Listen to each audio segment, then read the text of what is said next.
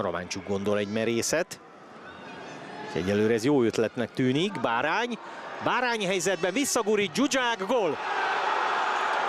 16. perc, megszerzi a vezetést a Debrecen, egy szép támadás, és mit tesz az, ha egy védő úgy gondolja, hogy nem csak alibi paszt kell adni balra-jobbra, előre tör Románcsuk, Bárány előkészít, Zsuzsák pedig ismét gólt lő. Pályás futása során most már harmadszor Puskás Akadémia elleni bajnoki mérkőzésen.